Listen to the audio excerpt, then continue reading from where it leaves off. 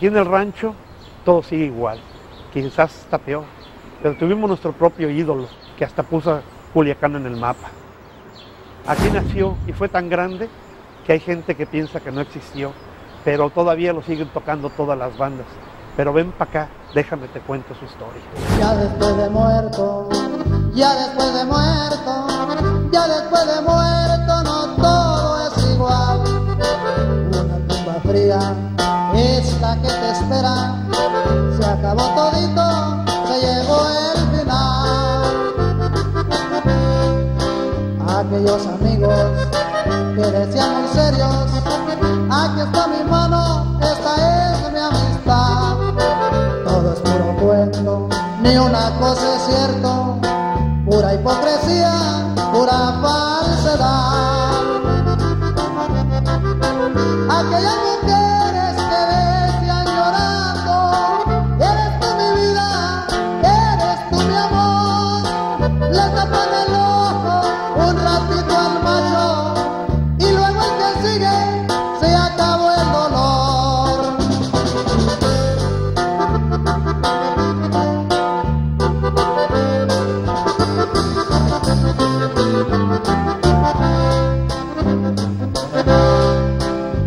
Andes creyendo. Por un fuerte abrazo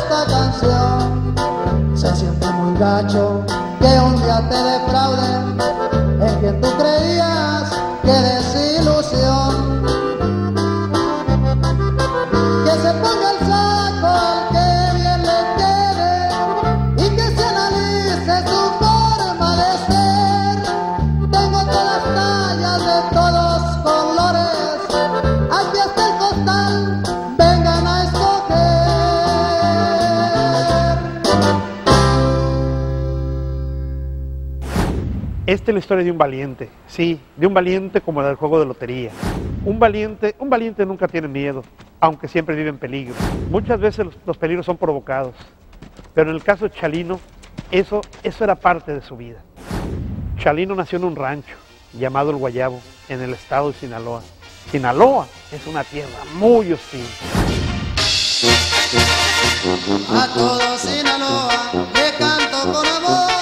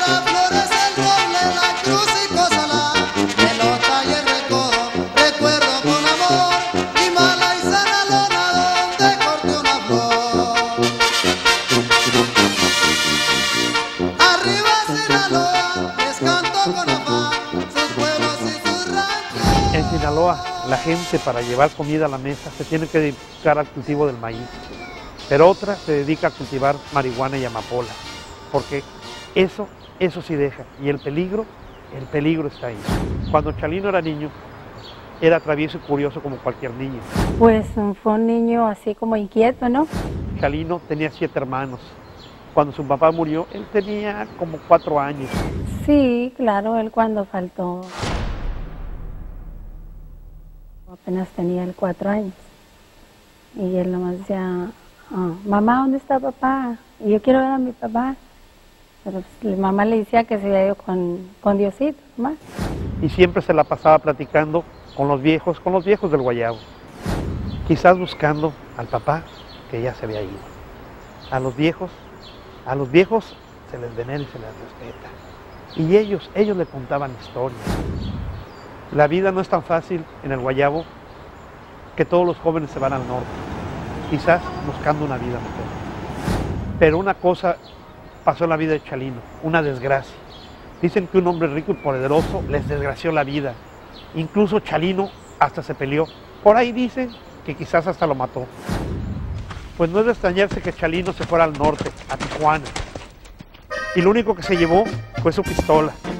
Pues ahí donde ven, aquí todos, todos traen pistola. También se llevó su medallita, su medallita de Valverde. Me acuerdo por allá por el año de 1977, en el radio se oían las canciones Vicente Fernández, Antonio Aguilar, pero aquí lo que gustaba eran los corridos. Los corridos como los que empiezan desde la época de Pancho Villa. Bueno, el mundo de los corridos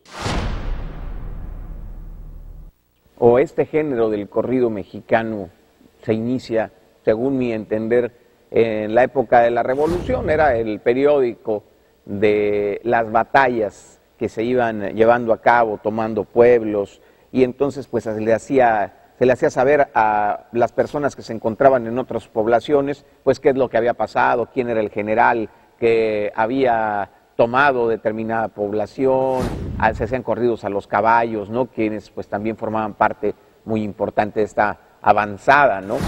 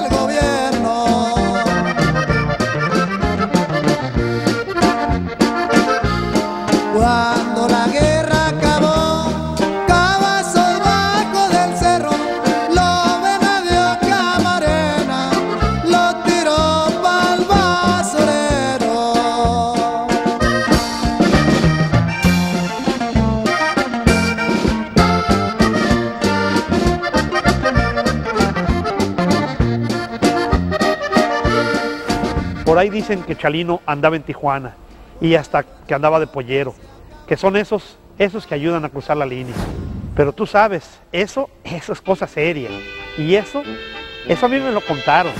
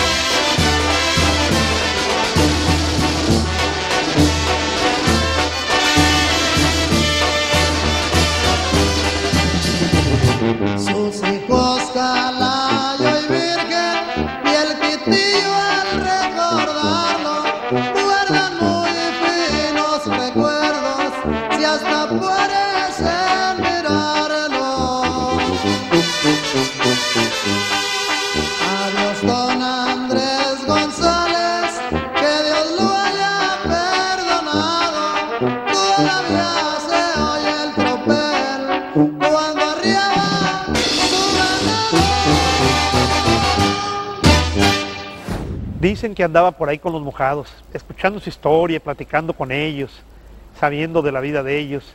Ellos le contaban a dónde iban, por qué iban y por qué querían cruzar.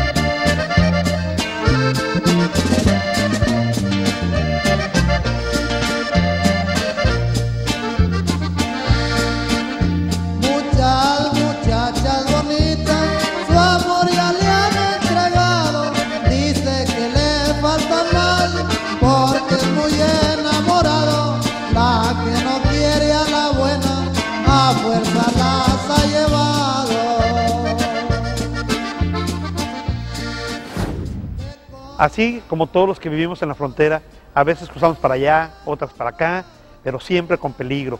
Por eso Chalino se cruzó al otro lado y se fue a Los Ángeles allá por el año 1977. Ahora sí, pensando en quedarse a radicar por allá. Uno encuentra pues buenos trabajos, ganas más dinero, puedes ayudar a tu familia que deja allá pobre. Y... Ahora sí, quería hacer una nueva vida. Chalino Sánchez tiene una prima que se llama Rosal. Ella trabajaba en una fábrica y tenía una amiga, se llama Marisela Vallejo. Pero los encantos de Chalino ganaron. Invitó a Marisela a un baile. Y ay, flaca, ¿para qué te quiero? Eh, bueno, yo cuando conocí a Chalino realmente no pensé que era el tipo de hombre que, eh, que a mí me hubiera gustado tratar. Era todo lo contrario de lo que yo me imaginaba. Pero definitivamente hay veces que en el corazón no se manda y así fue. En 1984, Chalino se casó con Marisela. La boda eh, fue algo muy sencillo. La verdad es que yo todavía hasta el mero día no pensaba en casarme. Eh, Adán ya venía en camino y decidimos hacerlo ah, de una manera muy sencilla. Eh, un día nos decidimos, a tales horas nos casamos y así lo hicimos. No, no, nada extraordinario. No hubo una gran fiesta, solamente la pura familia y este y, y fue algo muy sencillo. No, no, no tuvo nada extraordinario.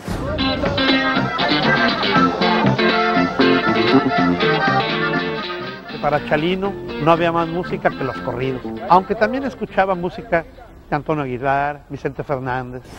Eran los que predominaban en aquel entonces.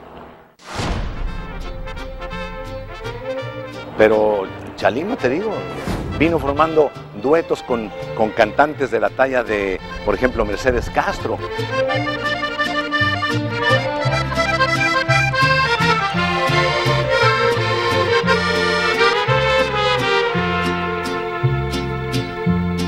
Tengo el alma enamorada, nomás en pensar, corazón, de soñarme noche a noche, dueña de tu amor. Tengo el alma enamorada, muy enamorada, mi bien. Si me das toda tu vida, yo te la doy también.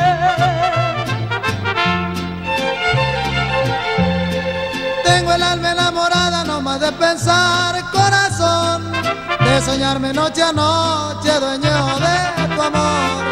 Tengo el alma enamorada, muy enamorada, mi bien. Si me das toda tu vida, yo te la doy también.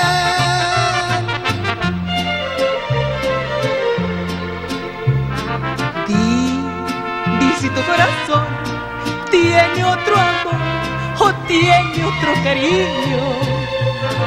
Di, di si no hay otro amor, porque mi corazón morirá por ti.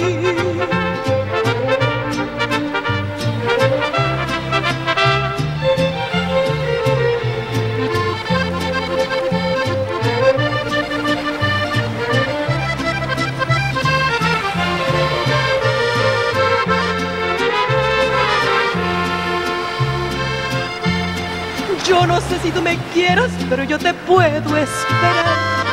Si me dejas esperando, me vas a matar. No me niegues tu mirada, porque yo la quiero soñar. Y mi alma enamorada, así te quiere más. Yo lo conocí en Los Ángeles, en el Parral. Es un lugar, lugar de las bandas, la casa de las bandas. Ahí me tocó pues trabajar con él en muchas ocasiones. Y luego pues vino la oportunidad de grabar con él cuatro discos. Eh, él entró después a la disquera donde yo grabo y esa fue la, el porqué de grabar a dueto, porque pues Chalino estaba vendiendo muchísimo en esa ocasión, eh, pues él siempre ha vendido mucho, pero en la disquera como que les gustó hacer duetos con, con varios artistas, pero no por nada y modestia aparte, el dueto de Chalino Sánchez y Mercedes Castro, no se hubo la, la- comunicación, la, química, que fue el, dueto que vendió más de todos los que se han hecho hasta ahorita. En los Swat Meets comprábamos los cassettes de Luis Pérez Mesa, El Gallo Elizarde. Nosotros sabíamos que eran cassettes piratas. Chalino decía que los corridos se hicieron para contar historias, historias que valgan la pena. Por eso compuso el corrido a su hermano Armando. Sí, el corrido de Armando Sánchez fue un corrido muy, muy especial para él, ya que en ese corrido puso todo su corazón, su, su sentir. Imagínate, el, el- uno de sus hermanos, para él su familia, sus hermanos era lo más querido. Mi nombre es Armando El Burro Sánchez para servirle a todos ustedes. Pues mi tío Chalino lo quiso mucho a él, como mi papá también a él, ¿verdad? Porque mi papá era mayor que él y Celino era de los menores de todos. Y mi padre fue el que falleció primero y él le compuso unos corridos a él, causa de la muerte y uno de, vida también, de vida presente. Y pues fueron dos hermanos que se quisieron mucho y pues ya ves, los dos se fueron igual. Tijuana, linda frontera, ¿cómo te podré olvidar? Con la sangre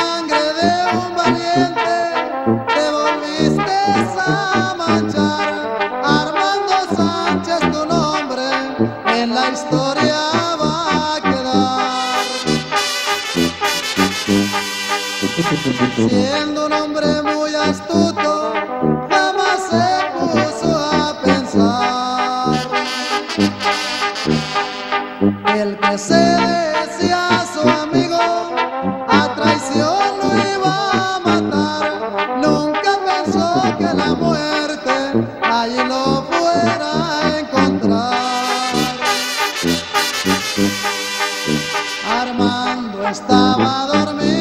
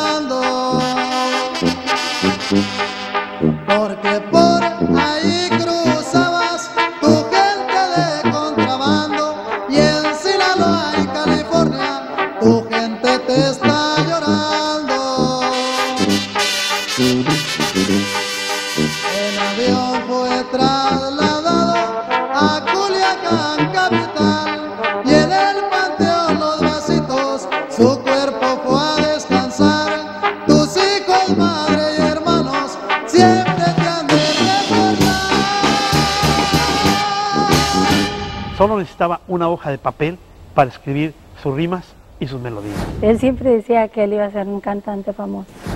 Luego, luego se enteraron que había compuesto un corrido. Sus compas le pidieron que compusiera uno para ellos. Había muchas personas, eh, le pedían corridos, por ejemplo, quien tuviera una tragedia en la familia, por ejemplo, eh, los que hubieran pasado alguna historia especial. Eh, esas eran las personas que querían dejar eh, la historia en una canción. Le pagaban para que él compusiera corridos de encargo. En algunos sitios eh, se dio a conocer, entonces eh, mucha gente ya sabía el tipo de trabajo que él hacía, que él cantaba, que él componía, y, y entonces eh, la misma gente lo buscaba, entre, entre ellos se comunicaban y, y- y se le fue haciendo fama de cantante y de, de- de compositor de ese tipo de corridos. Él empezó a escribir corridos, que Lucio Villarreal, que el Pelavacas, que el Coquillos Castro. Él empezó a escribir lo que le contaban. El corrido puede ser histórico, o sea, de contenido histórico, de contenido verídico, o puede ser ficticio. Eh, en ocasiones, me imagino, como sucedió en el caso de Charino Sánchez, pues la gente lo puede tomar muy a pecho, ¿no? Eh, sobre todo si el corrido eh, trata de algún tema verídico que tenga alguna importancia, ya sea judicial o, o criminal, por decirlo así, ¿no? Los amigos de Chalino tenían dinero, andaban en negocios chuecos y le pagaban con armas y regalos.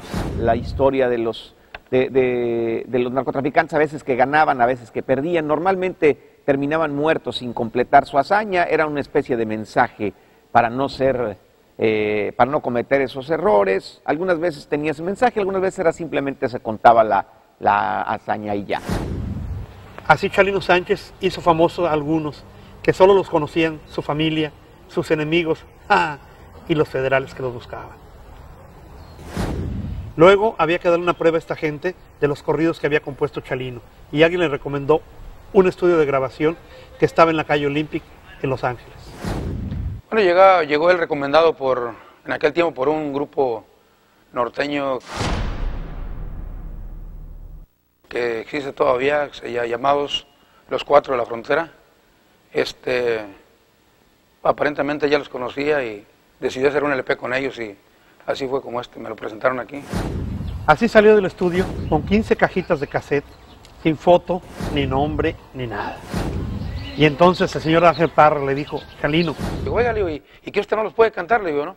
Digo, pues toquéle el compositor y todo. Se me hizo a mí fácil que pues, a lo mejor los podría interpretar. si te está yendo bien, pues graba más, más y más. Una voz en el principio ah, bastante rara, ¿no? Ah, algo nuevo, pues algo raro, como, como, como aquellas compañías del pasado que siempre buscaban una voz especial, ¿no? Ah, digamos, hablaban de un Miguel Aceves Mejía, un Pedro Infante, un Jorge Negrete, siempre andaban a la búsqueda de, una, de, de algo especial. Y, y- y así fue lo de, lo de Chalino, este, una voz un poquito, posiblemente mal comprendida para su tiempo, ¿no?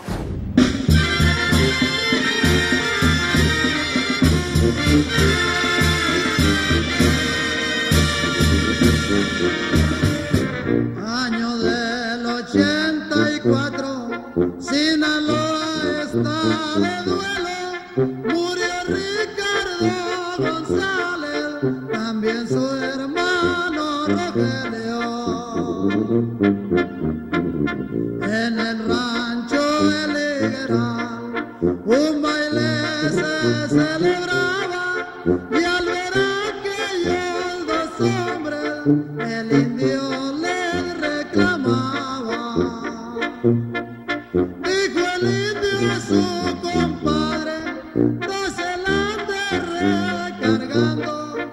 y menos de mi familia, de estar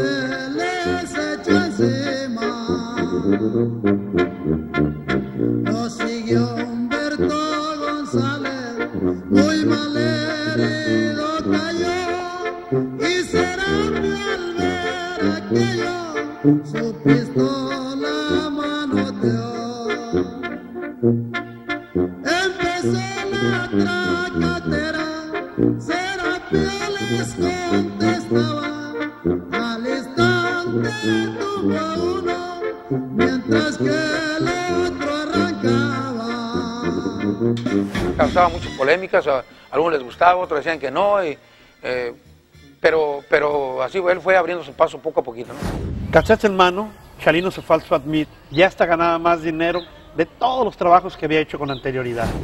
Ya en 1989 se dedicaba a tiempo completo a escribir corridos, grabarlos y venderlos.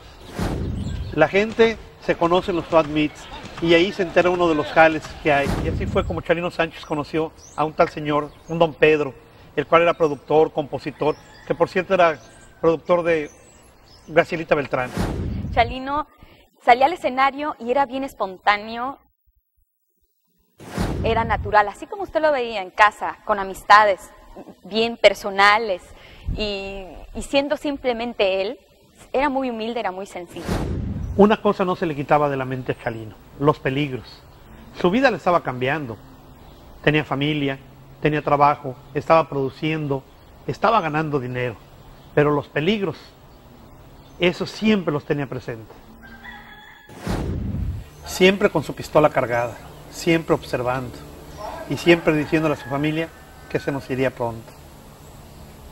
Chalino siempre tuvo eh, la idea de que él se iba a ir a temprana edad. Siempre nos comentó que el día que se fuera, que era lo que teníamos que hacer, debíamos hacer.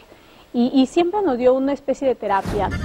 Conforme pasaban los días, la fama de Chalino se hacía cada día más grande. Ya había grabado con muchas bandas, hasta que decidió quedarse con los amables del norte. La primera grabación que hicimos con Chalino Sánchez fue para la vacas. Y la ensayamos y se oyó bien. En aquel entonces, pues, nos dijo, les voy a pagar mil dólares, chaval.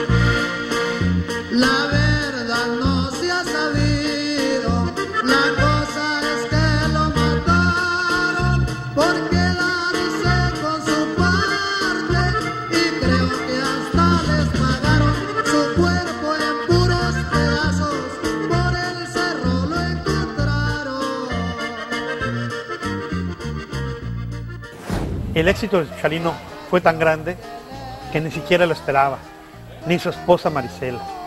Fue tan grande que ella empezó a trabajar en su imagen. Eso sí, su sombrero siempre de lado, sus botas de animales exóticas bien caros, su cinturón piteado, su 45.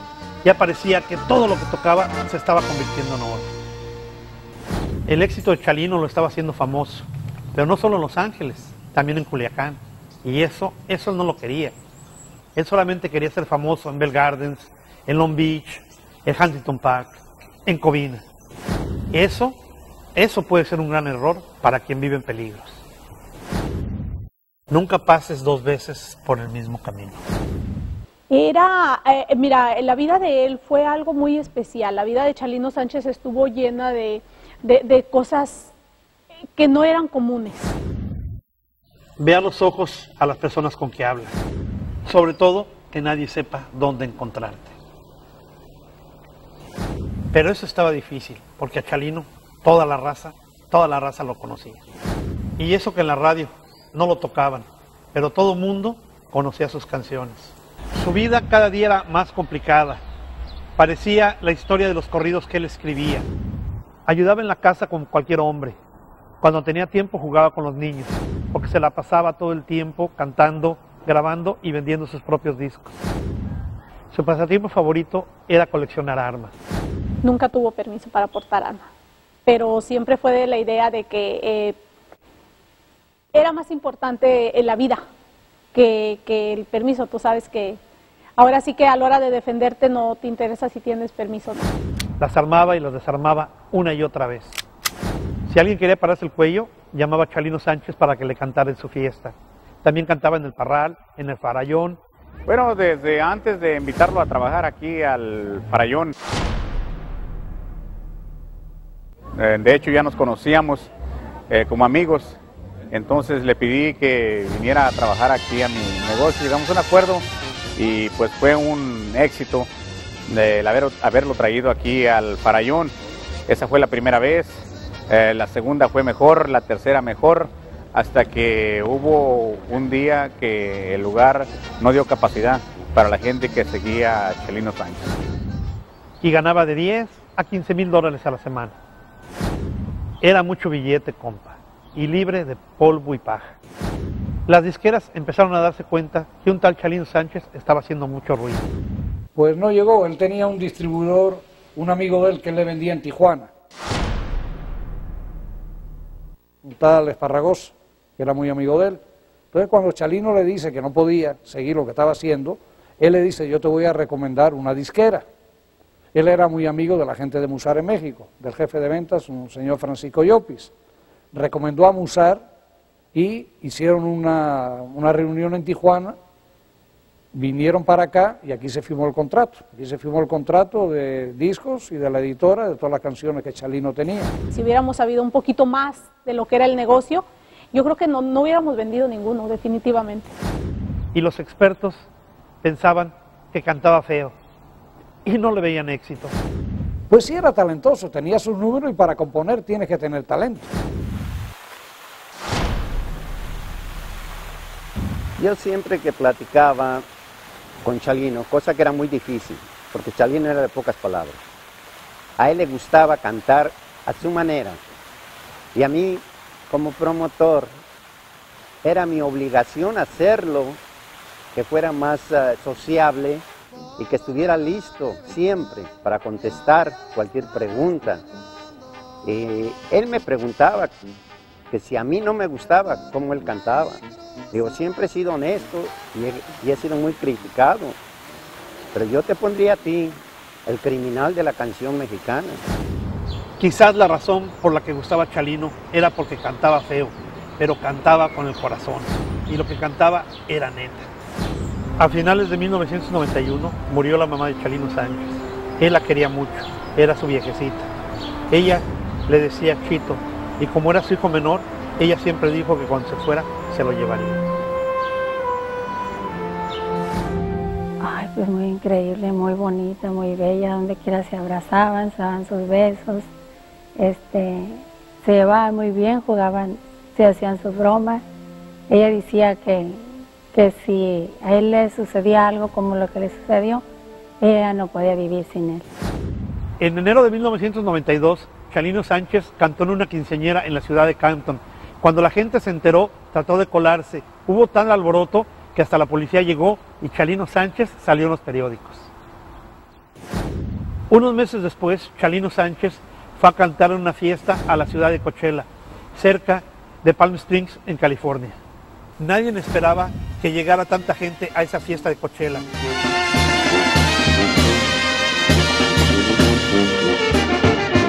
El indio iba desarmado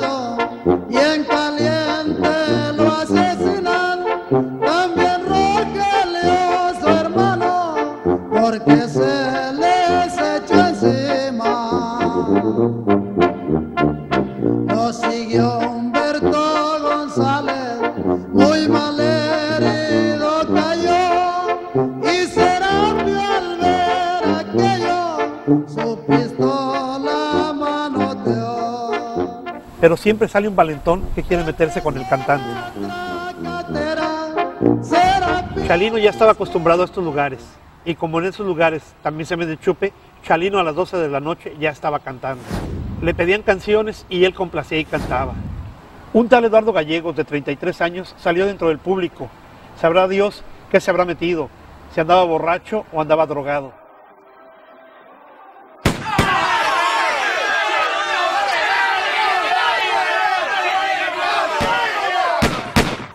Estaba, esa persona llegó, lo atacó, hubo muchos balazos, hubo como 10 heridos, hubo un muerto. eh, fue, fue bastante feo. Pues estábamos tocando, estábamos tocando muy a gusto y a él le pidieron el gallo de Sinaloa, por cierto. Y dijo, ahorita compa, ahorita se la canto, no se desespere. Y ya dedicó otra canción y cantó otra. Entonces cuando empezamos a- a cantar, ya que empezamos a cantar el gallo de Sinaloa, se subió una persona por, por el lado izquierdo para nosotros del, del stand con pistola en mano. Al pasarme por enfrente a mí, pues yo, yo me asusté. Y ya le habla a Chalino con la pistola en la mano. Chalino, en cuanto le ve la pistola, arranca su pistola también, porque Chalino todo el tiempo traía su pistola. Entonces, él, él le tira, le tira al amigo. Chalino le, le- tira al amigo primero. Pero dice, dice Chalino, dijo que, que él no le había pegado. un tiro nada más porque se le entrampó su pistola. Y el amigo sí le pega dos a él. Cuando él se le entrampa la pistola, el amigo le pega dos y le tira muchos tiros más. Le tira como, como 11 o 12 tiros. Pero ya no le pegó ni uno, nomás, es, nomás esos dos. Aquí le agarró el pulmón derecho, se lo, se lo destruyó, pero gracias a Dios después de eso todavía cantaba mi compa Chalín. Ustedes ya sabrán cómo terminó esa fiesta.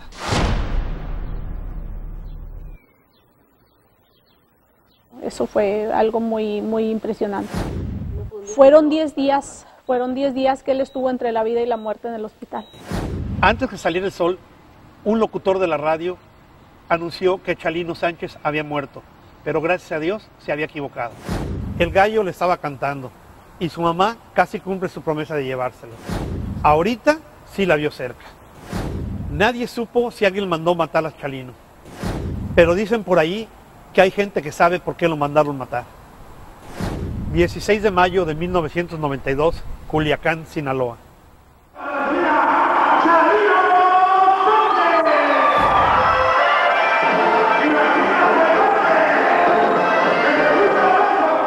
Chalino Sánchez subió como siempre a cantar al escenario. De eso quedó el video que un aficionado grabó. Ahí estaba Chalino, como siempre, muy elegante, acompañado con los amables del norte, todos muy bien vestidos. Y él no traía pistola. Bueno, al menos yo no se la vi.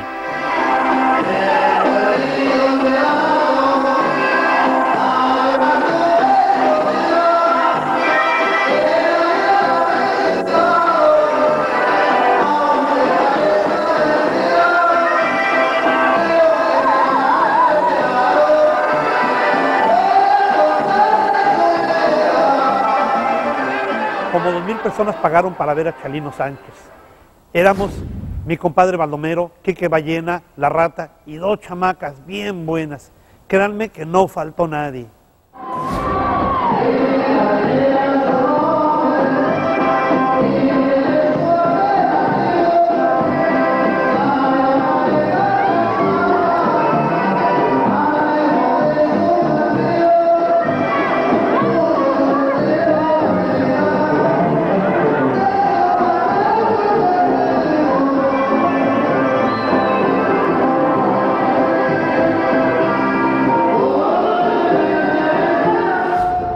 Yo me pregunto si alguien en el Bulgabilia sabía que esa noche lo iban a matar.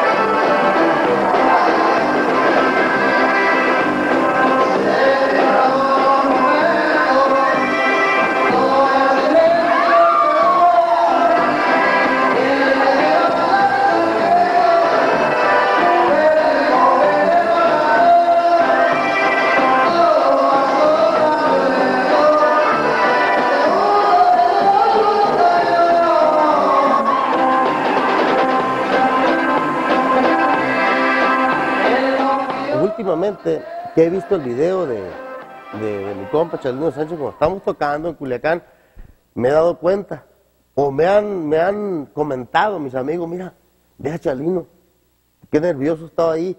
Una, en una ocasión le mandaron un papelito esa noche y cuando lo leyó, se le notó a él. Nerviosismo, pero pues no, no, es que le, le han de haber mandado decir algo, pero él nunca dijo nada.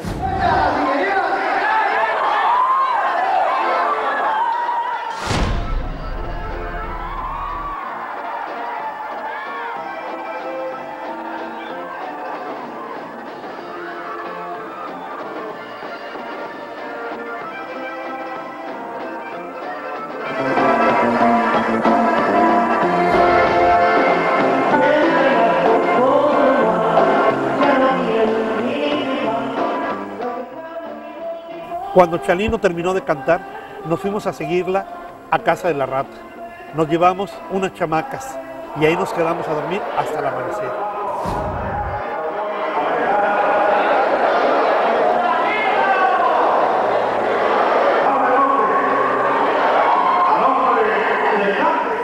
A la mañana siguiente, muy temprano, me fui a trabajar como siempre.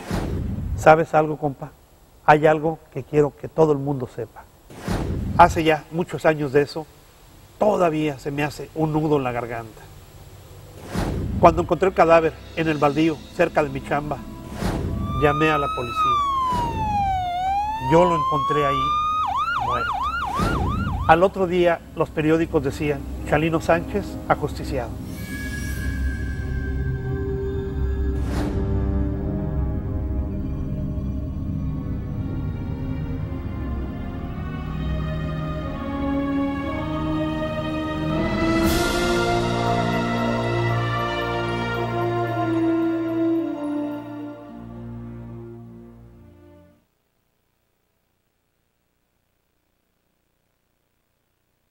Fue algo muy triste, algo muy triste porque nosotros nos queríamos como familia, nos mirábamos muy bien.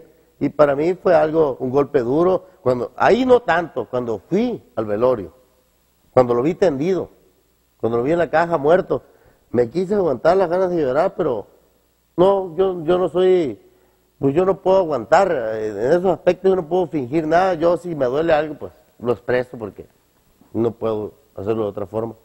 Eh, yo pienso que esa gente es mala, porque si él no les hacía nada, él no tenía nada contra ellos. No, siempre va a estar esa pregunta porque solamente el destino sabrá si un día se sabe. Es un ambiente bastante peligroso. Nunca soñamos con tener tranquilidad porque en ese ambiente eh, no hay mucha tranquilidad.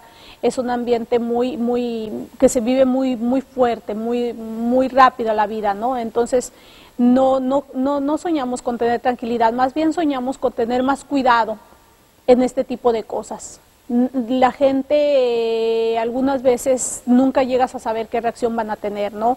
Entonces sí lo platicamos y, dijimos que íbamos a tener un poquito más de cuidado, pero pues desgraciadamente no hubo mucho, mucho tiempo para practicar. Yo creo que en, esa época, y no sé si actualmente también, en lugares como en Culiacán, Sinaloa, pues era una tierra sin ley.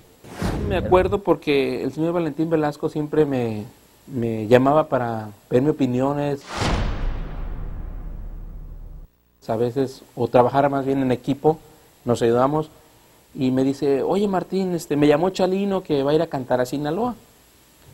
Y le digo yo, oiga Valentín, pues este, yo pienso que, que pues no debería ir porque como él está, está supuestamente amenazado de, de muerte. O después vino Chalino, trajo unos masters, unas cintas, unas grabaciones, y le dijo a Valentín, voy a salir para, para Sinaloa, dice, voy a trabajar y, dijo, dijo este Valentín, no, dice, no deberías de ir, dice, porque pues tú sabes que, que te puede pasar algo, te están esperando allá. Dijo, mire Valentín, no, me, se preocupe, yo voy a ir, de todas maneras voy a quedar aquí o allá, pero voy a ir a cumplir ese trabajo que tengo, me están pagando muy bien y voy a ir. Y eso fue lo que lo último que él dijo y ya no regresó. La última vez que me dijo que iba a ir a Sinaloa, que fue donde lo mataron, le dije que no fuera a Sinaloa porque allí no tenía la protección que hubiera tenido aquí. Aquí le tiraron en, en un nightclub, le tiraron y él tiró y dio al individuo, o sea, se defendía. Pero la, protección aquí hubiera sido mejor que en Sinaloa. Hoy en Sinaloa lo mataron. Pues había rumores que a Chalino lo iban a matar, o hoy o mañana o pasado. Él sabía, él vivía pendiente de que lo iban a matar un día. Es como el que decía, pues si me van a matar, que me maten hoy o mañana o lo pasado. Pues se la tenían, como dicen, sentenciada. Y entonces él, o sea, era como si fuera su destino, que él sabía que el destino iba a venir cualquier momento. O sea, y no, no le huía. Hay muchas interpretaciones, y aparte de ver muchas interpretaciones, cada quien tiene su versión a su favor, o como le acomoda. Chalino tenía la costumbre de hacer muchos corridos para gente brava, para gente muy activa en otros departamentos, ¿no? Para él, el hacerle esos corridos era negocio. Era negocio porque le compraban y le compraban miles de cassettes, miles de CDs. Ah, por un lado hay esa interpretación de que puede ser la gente bravía, por el otro lado hay que las mujeres, ah, y por el otro hay otra versión de que posiblemente se metió con una mujer casada, en fin, hay muchas versiones. Hay mucha controversia. Uno dice una cosa, dicen otro, y yo nunca jamás quise yo este, eh, mm, preguntar por qué, cuál fue la causa, el motivo por, por, la, por el que haya, haya muerto. Sí, el 10 de mayo se presentó aquí en el Barayón y este, se despidió de mí, de un abrazo. Me había comentado él sus ah, problemas que tenía y peligros y él iba a Sinaloa. Yo personalmente le recomendé, compa Chelino, no vaya a Sinaloa. Me apretó de un abrazo y en ese momento le dije, cuando usted regrese de Sinaloa, yo le voy a tener preparado un chaleco antibalas. Ese chaleco todavía lo guardo como recuerdo, porque dos días después me enteré que Chelino Sánchez ya había fallecido. Sí, la ida de él a, a- a Culiacán en especial esa, esa vez, la última vez, fue algo muy especial. Sí hubo algunas llamadas un poquito raras, sí hubo gente que nos previno de lo que iba a pasar, pero también él era una persona, como te digo, muy segura de sí mismo y él dijo, ¿sabes qué? Si mi Padre Dios ya lo decidió, va a pasar. Me acuerdo de, del funeral porque yo me acuerdo que a mi nina, mi nina Juana, me estaba, me estaba abrazando y me estaba diciendo que le dijera am, como adiós, pero no, no, me, no sabía como lo que estaba pasando, no.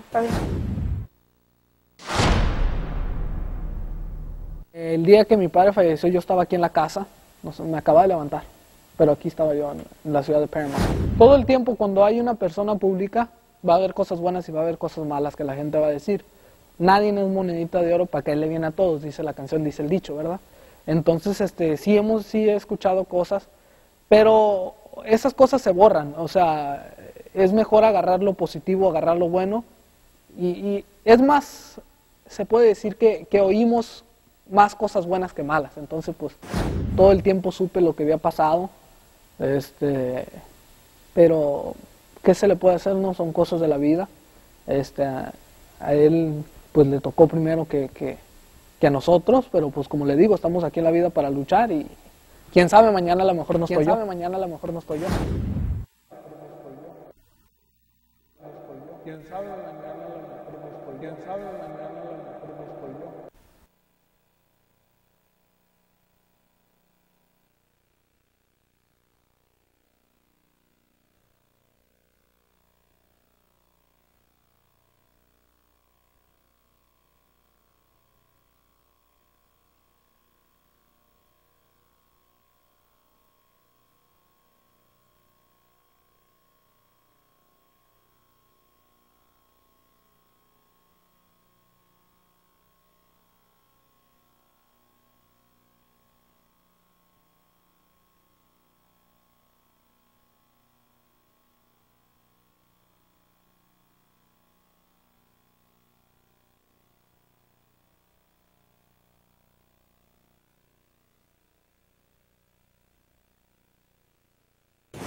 Chalino Sánchez fue uno, fue único y no va a haber otro.